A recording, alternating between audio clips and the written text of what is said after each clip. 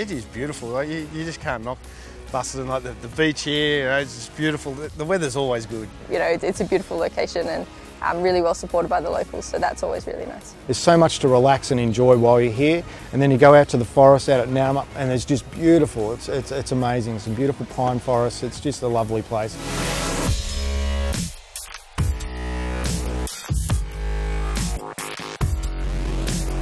This year's probably a little bit different. They've had a heap of rain up in the forest over the last couple of weeks, which has actually sort of settled them down a little bit. I don't reckon they're as slippery that, as they've been, but um, that said, you know, these roads are, are the trickiest, I think, in the championship, but also probably the most enjoyable. The character of the roads and the flow of the roads is really nice, and, and that's what I, I really like about them. They're, they're also very unique uh, in the ball bearing surface, which I'm sure all the drivers are mentioning. It's incredibly slippery. To see the stages and everything on recce was obviously a different experience because they're quite different to anything I've ever seen. I've only, only ever competed on the east coast. You get out of the line over here and it um, turns pear-shaped pretty quickly. So yeah, you've got to you know have your wits about you and have your notes really well, gel in the car with your co-driver really well. But um, when you get these roads right, there's nothing better.